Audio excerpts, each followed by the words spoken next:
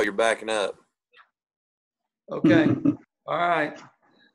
Um, let me pray for us, and then Kate's going to take us to, to some time of worship, and we'll come back and hear Bryan have a time of prayer. But let me pray for us this morning. Well, Father, we uh, come before you this morning just to say thank Hallelujah. you for this Praise day uh, that you're giving us. Thank you that the sun will rise and the skies are blue, or maybe they'll be gray today. We've got some rain, but we're so grateful for another day you're giving us. Thank you for this weekend. Um, that we get to just have an extra day to just celebrate with with family and friends um, to just to be in your goodness and your grace uh, thank you this morning lord that you uh, have allowed uh, such pandemic to to be upon us um, so that we can grow closer to you that's my prayer this morning lord that all this time that we've had even through frustration even through the struggles and challenges that we would just um, hold on to you and, and be reminded that uh, you are a provider. You're, you're the beginning and the end, Lord, and you are our daddy, our Abba Father. So this morning, as we worship, we pray that you would help us to, to align our hearts with your heart, to uh, turn the world off and to simply just be in your presence. Um, and thank you for Bryan you would allow your words to be spoken, that he would share his heart with us, and we would be encouraged. We love you, we praise you, and we uh, give you this time. In Jesus' name, amen. Well, guys, be, go ahead and kill your, your audio and your video as uh, Kate sends us to worship. I just wanted to say a word too before we go to worship. We talked a little bit about this last night in our journey group, but any guys on here that have served in, man, armed forces, uh, local police, um, any any line that allows the rest of us to live in uh, in the freedoms that we do, man. We just say thanks uh, this morning, and we're just talking about how um, that's what Jesus did. He laid down his life so that we could live a life of freedom. So, as you think about the uh, semblance of Memorial Day this weekend, man, just let that cultivate just a heart of gratefulness um, for Jesus as well, guys. We love you. We're grateful you're all on here, and uh, I will get this uh, will get this worship going.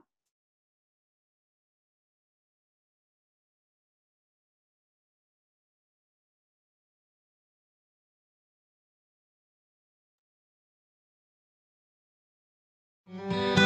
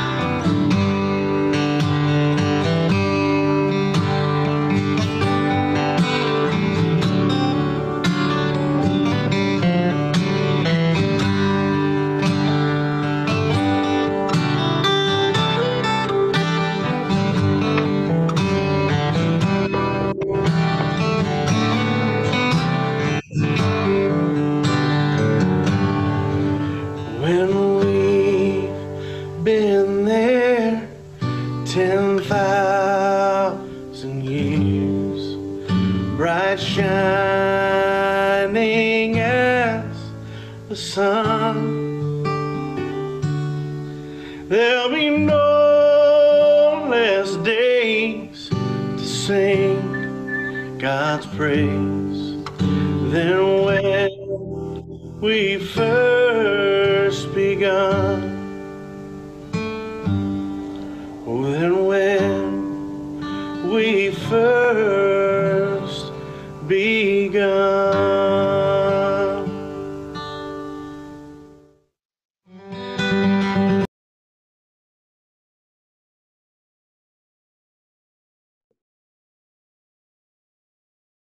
Now, if that's not backwoods worship right there, I don't know what is. Straight from the woods of Arkansas, Bryan. All right, guys, unmute yourselves.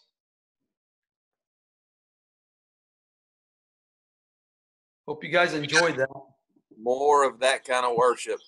All right. Well, we're working on it, Cade.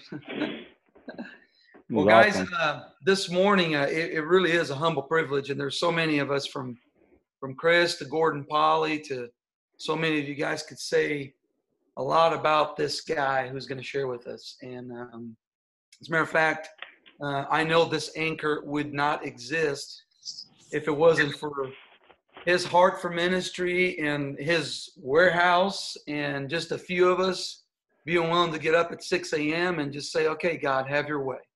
So here we are 10 years later, and um, God's still moving, and we're very, very grateful. So um, here's what I can say just briefly.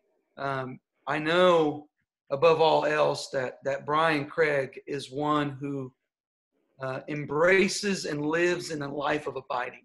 Um, if there's a guy I've ever met that uh, goes to the foot of the cross daily, moment by moment, hour by hour, uh, with with five girls at home, I'm sure every second.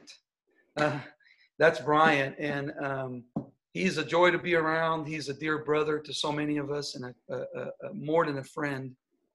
And uh, I just love him. I love his leadership and what he's doing with influencers, uh, not just uh, statewide or in this country, but around the world. And and God is really moving in an amazing way. So um, I'm so glad he said yes uh, to uh, stepping out, and uh, I'm glad I've had the opportunity to do life with him. But I also know this about Bryan: that is, he's an incredible husband to his wife Missy, and he's an amazing dad to four girls. Um, he's just a he's just a, brother that that lives and breathes um, walking with the Lord, and I'm grateful that he went searching so many years ago for something more than just accountability. Um, know, he's a guy. Some of you know the story. He's a guy that was very involved with uh, Promise Keepers, and and he saw that there was a, a greater need than guys just you know keeping things in the surface. So um, I'm so humbled to have the the privilege and, and and really humble privilege to have him this morning come and share his heart of what the journey's meant to him. So Bryan, love you. Um, thanks for being here with us. It's all yours. All right.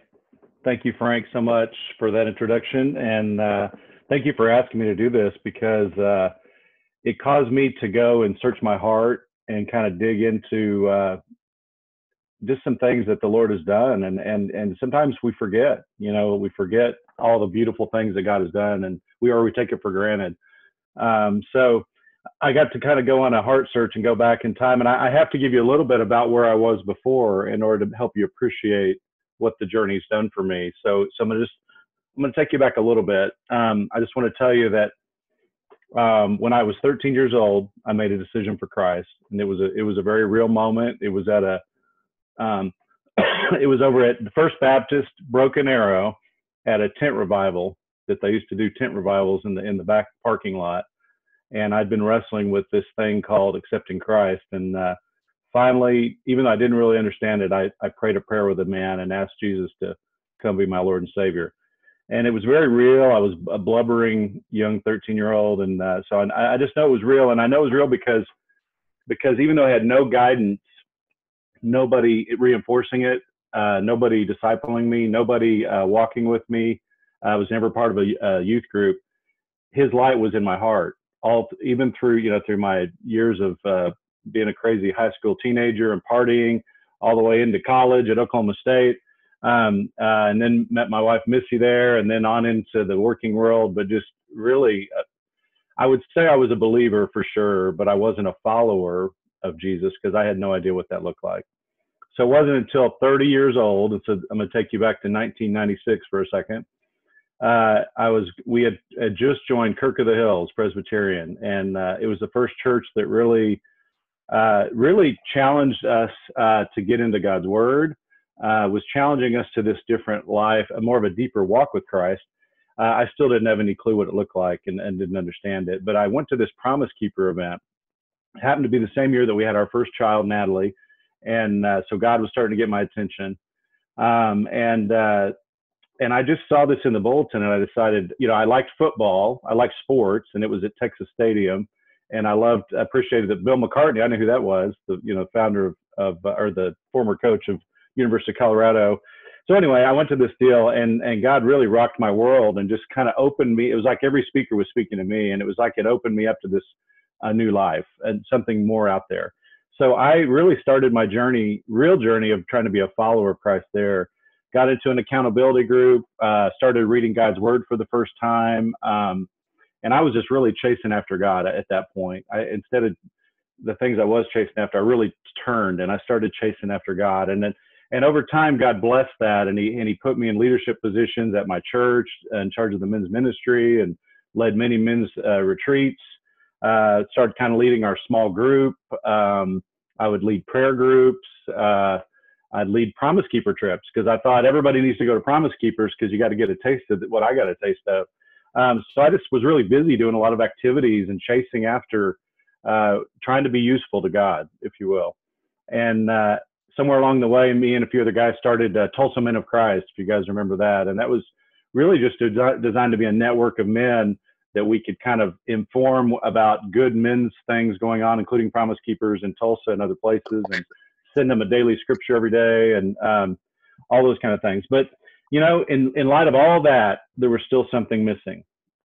I kind of think about uh, the song uh, has always resonated with me by U2. I still haven't found what I'm looking for. You know, there was something I was still longing and looking for, and I didn't really know what it was. And I look back and I was just thinking about uh, just a few observations back at that point. Events were good, but they weren't lasting. Most groups that I'd been part of were horizontal and they but they and they weren't life giving really. Um, and I just observed men and not being judgmental, but I looked around at most men I knew in the church, and, and by the time after a while, I met a lot of men from different churches, so it wasn't just limited to Kirk of the Hills; it was everywhere. Most men I saw, and I love the quote: "Most men live lives of quiet desperation," and I think that's what I felt I saw. Uh, most men were double-minded. Um, they did they weren't consistent in their lives most men were not in God's word. I could just tell because you'd talk about God's word and they kind of like would say, "Yeah, I probably should do that." Um, I do think a lot of men are, were orphans, are orphans. They weren't. They didn't understand that they had a heavenly Father that had adopted them.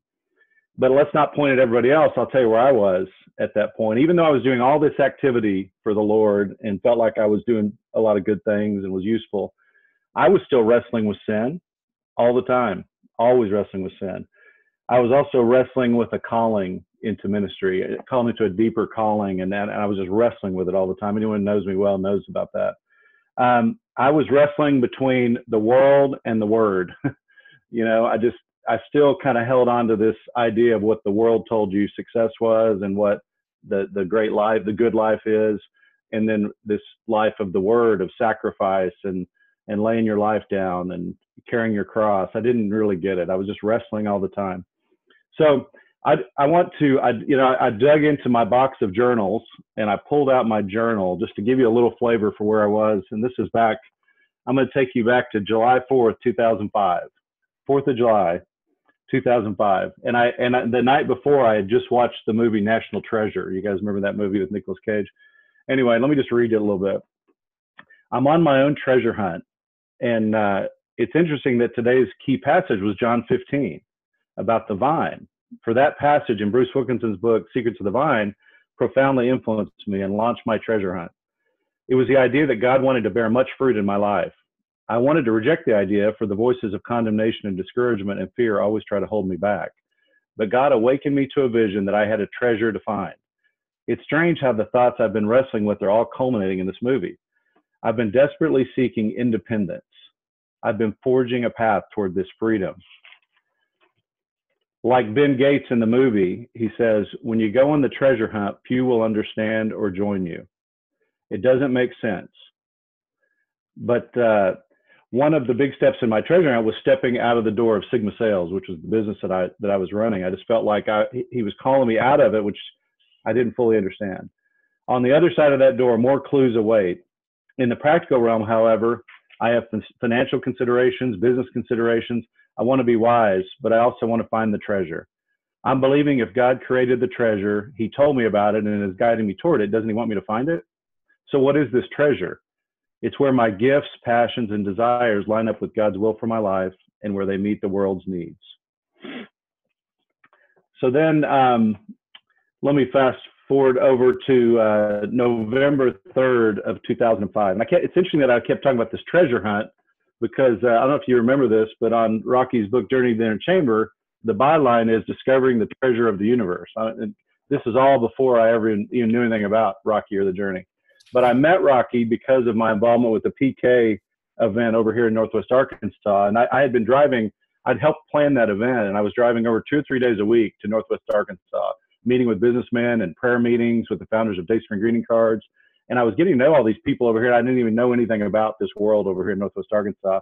And Rocky was over here starting the journey, you know, and I had no idea who Rocky was. But um, there was a day, November 3rd, 2005, that I drove over to Siloam Springs, Arkansas to sit in on a meeting uh, of this process called The Journey.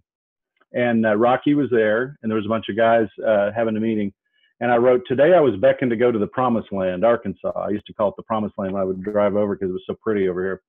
I knew I was supposed to come. Rocky confirmed it. I'm seeking clarity once again in so many thoughts and frustrations. I'm sitting here on this journey group, and the topic is personal abandonment. One man talked about how unanswered prayer shows you a lot about yourself. The answers to every prayer is yes, no, wait, or I can't. What am I doing to prevent his working? So they were talking about um, God is able, and they're talking about what's blocking your communion with God. And I'm I'm just sitting in, you know, me and a few other guys were just sitting in on this meeting, and Rocky was there, and I ended up going and talking to him afterwards or whatever. Um, and so, uh, you know, this idea, he kind of got to know me, and this idea was birthed that maybe maybe we could do a journey group in Tulsa because he seemed to think that uh, I was hungry, and there was a lot of men over there. So uh, I'm still wrestling, and then you go to November 23rd of 2005. I wrote, these mornings, uh, I open God's word with great anticipation. The key verse is loud and clear this morning. As a matter of fact, it's on the page before this on my last journal entry. Psalm 37 4 Delight yourself in the Lord, and he will give you the desires of your heart. That verse has spoken to me time and time again. As I sit here this morning, I think I've gotten this verse backwards.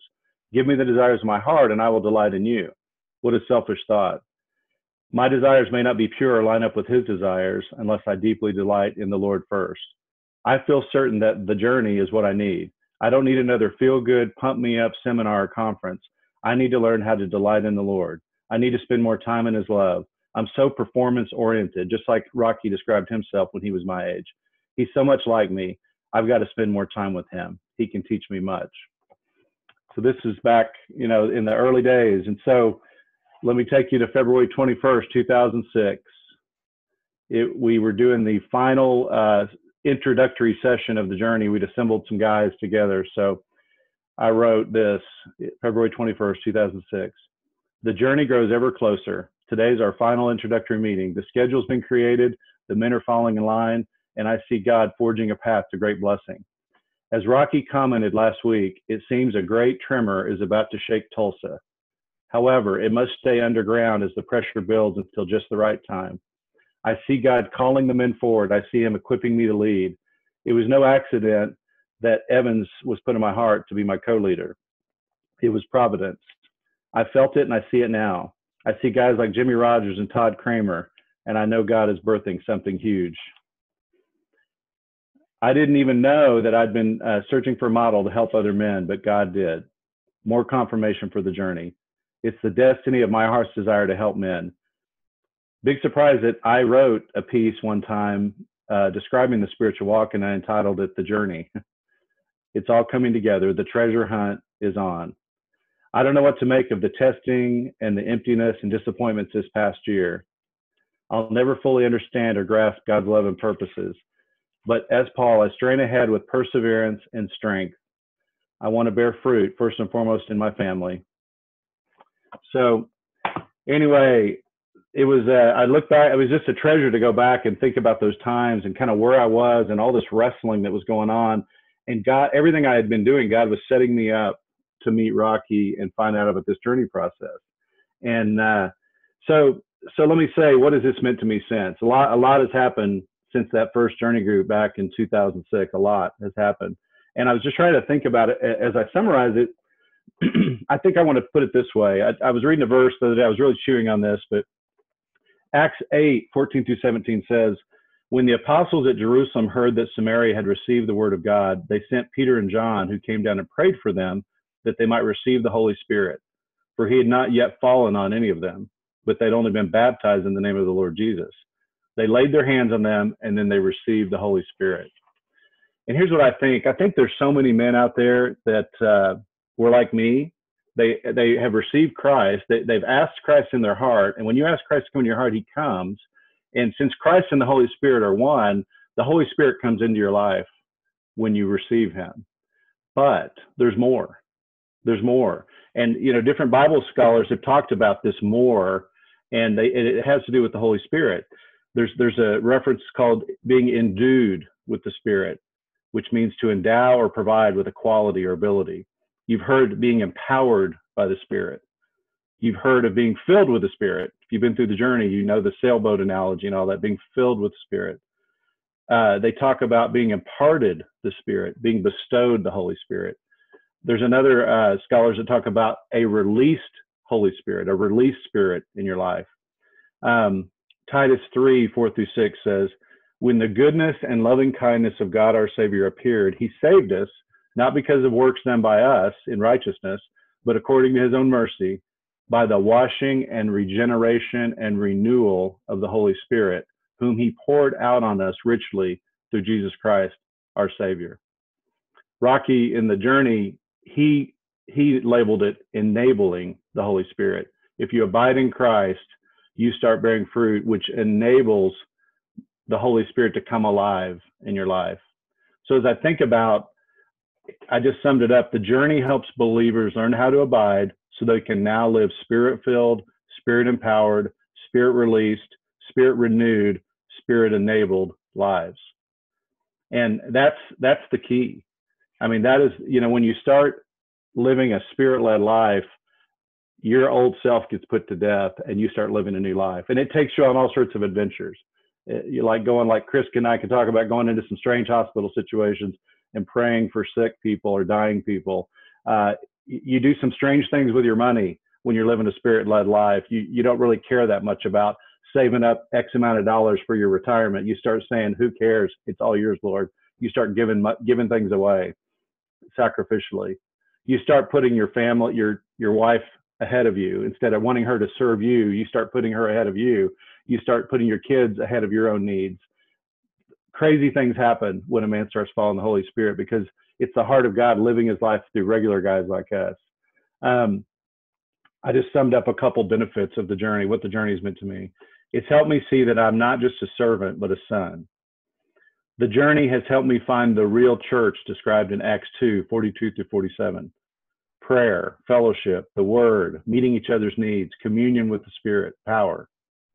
The journey has helped me love my wife more unconditionally and sacrificially.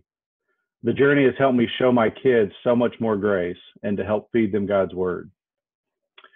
The journey has helped me find my spiritual gifts and has fanned into flame, fanned them into flame to use them more boldly. The journey has helped me quit trying to live by the world and squeeze my faith into that worldview it's helped me to die to the old worldview and live a radical spirit led life. I finally have found the abundant life that Jesus talked about, and it has nothing to do with money. The journey helped me find my purpose and contentment and peace and an end to the wrestling that I talked about that I went on for so long. And the journey has given me an incredible tool and a platform to live out my heart to help change the world one man at a time. And I'm going to close with this uh, thought.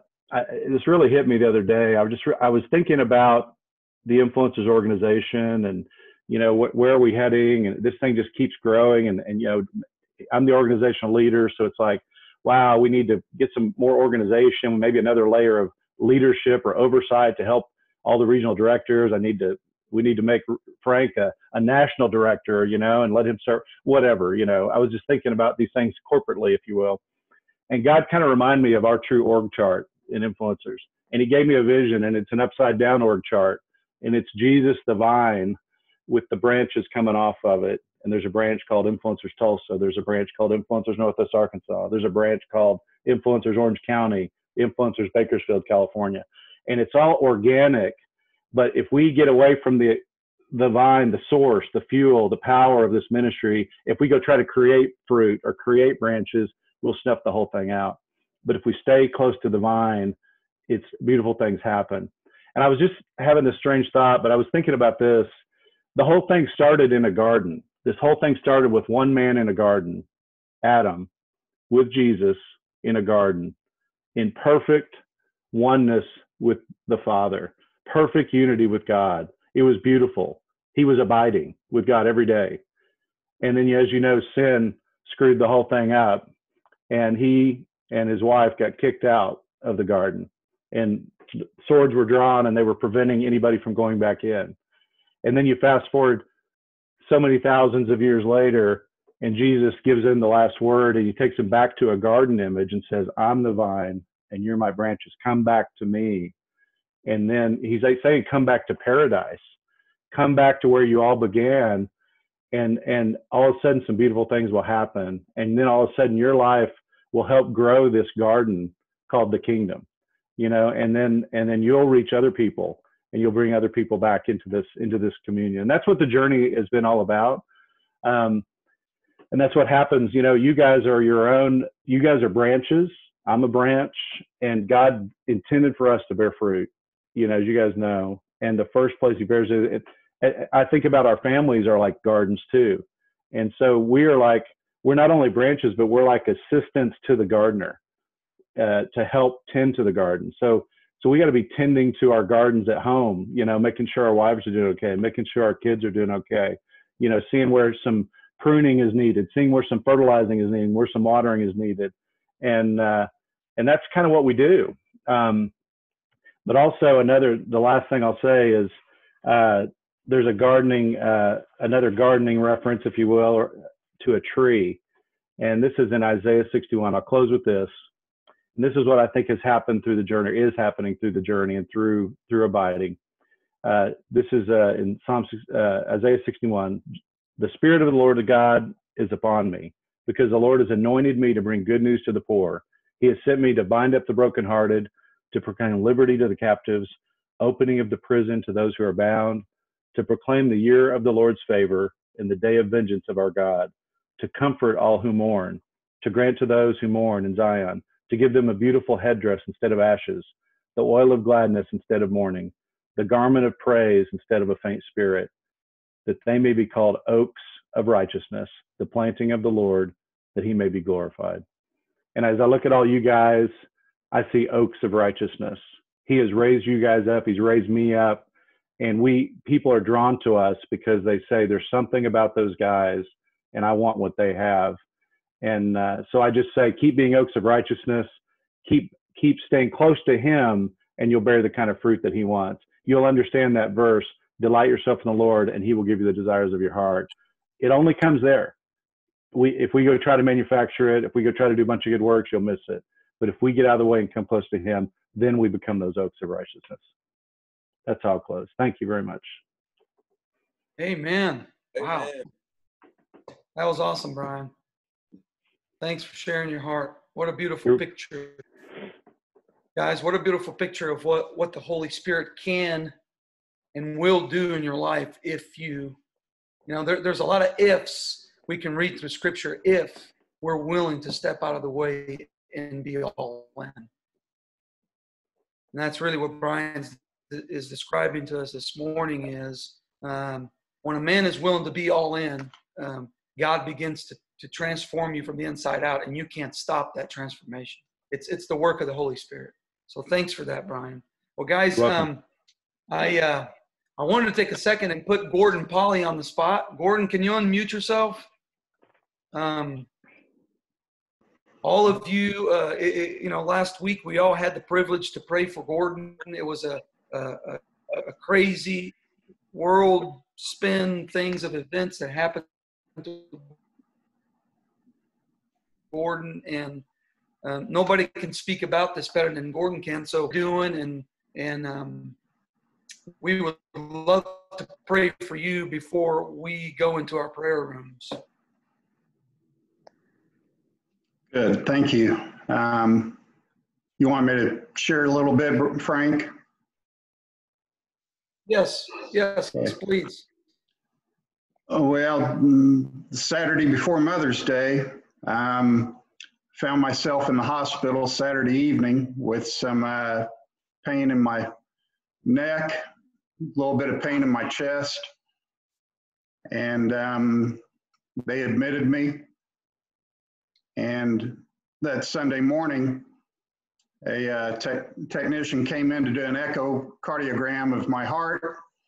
And uh, as soon as she was uh, taking a look at my heart, she left the room for a couple of minutes, which um, I didn't necessarily appreciate. I thought, okay, that's not cool. But um, she came back in, and um, soon after she was in, um, a cardiologist came in while she continued with the echo. And he said, You've got a, a dissection of your aortic valve and we need to take you from Hillcrest South to the Hillcrest Main Hospital immediately and do open heart surgery and repair that. Um, and thankful to God, they happen to have a surgical team, a uh, cardiovascular thoracic surgical team that was there at the hospital um, at Hillcrest, Main, just wrapping up another emergency surgery. And he said, We've got a surgical team there. They are um, ready to go. And um, we need to get you over there immediately. And I, I have my wife, the kids, they had come over to the house for Mother's Day. So they were on the other end of the line. And so they heard that.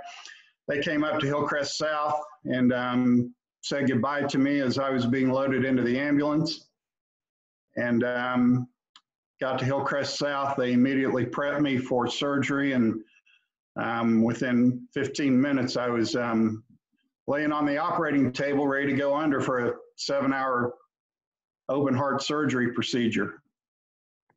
Um, sure didn't see that one coming. You know, um, try to stay healthy, um, but you know, you never know what God has for you. And um, I said, okay, Lord, if this is it, then then I'm ready. You know, I, I had no fear whatsoever. Um, but at that point, most people who um, have that same situation don't even make it to the hospital. They um, die before they get to the hospital.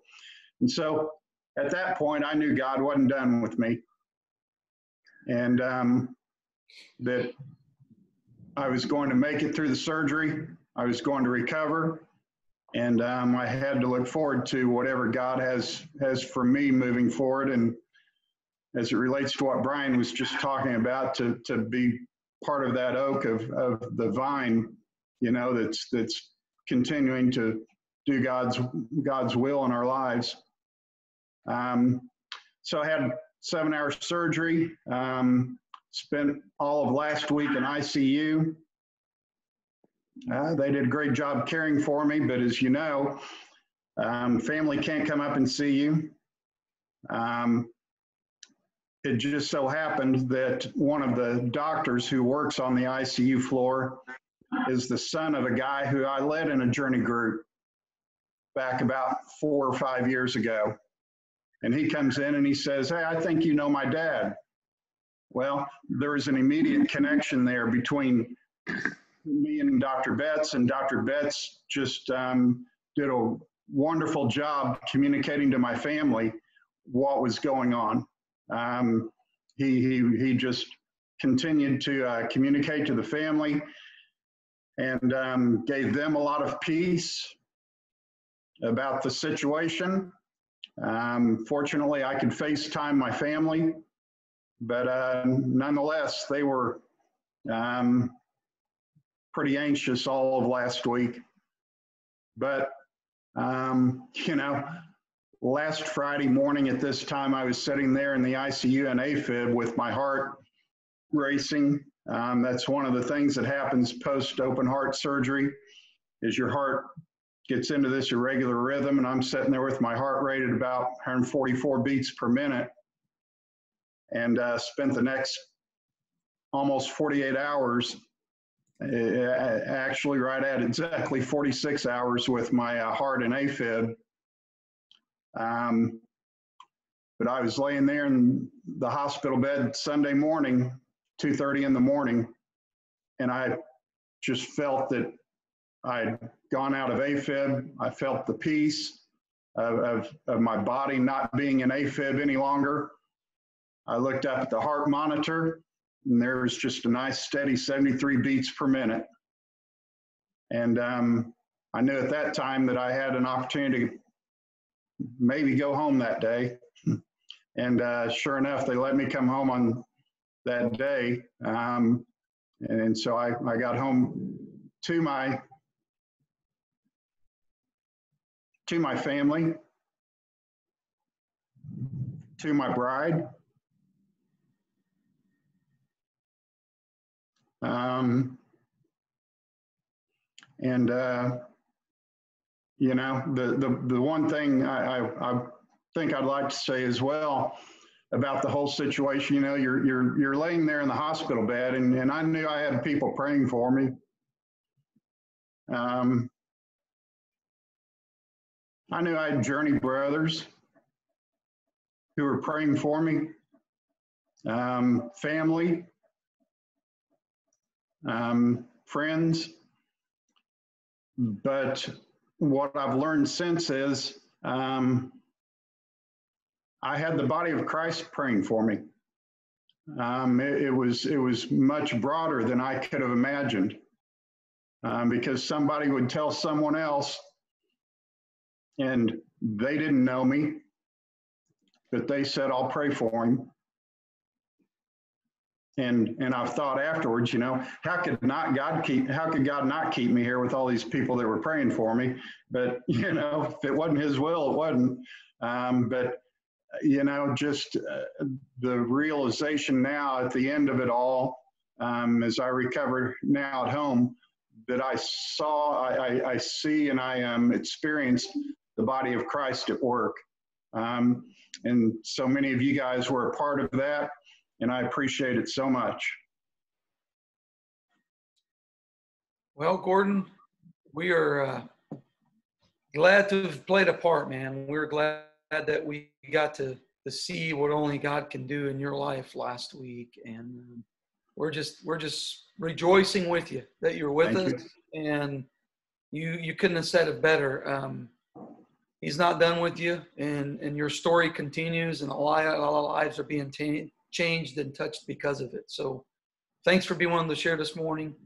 Um, Bryan, thanks for being on here this morning. I hope it's been a blessing to all of you. But um, I will say what we say every Friday. Um, you know, the next little bit is a time for you to be able to jump on a prayer room with some guys you may have not prayed with before. We let the computer randomly do it. Um, I challenge you to stay on.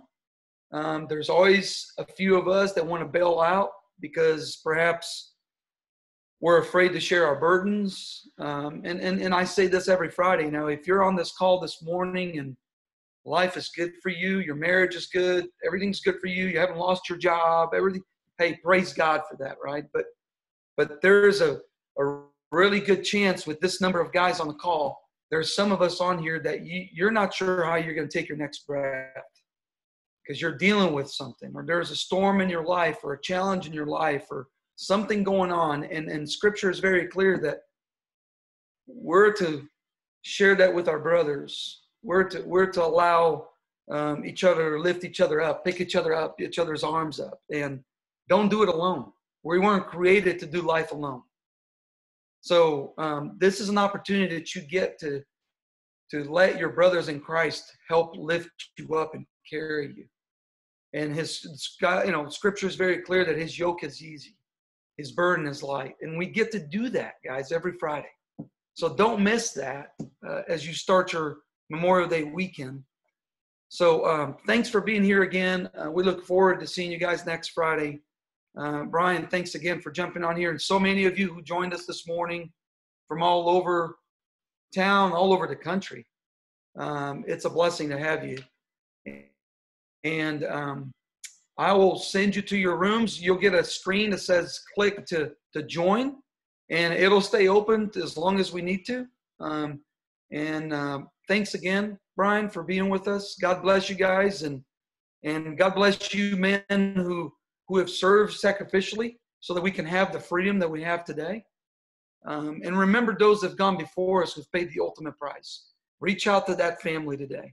Say thank you to them. Um, love you all. God bless you. And I'll get you guys into a room here in a second.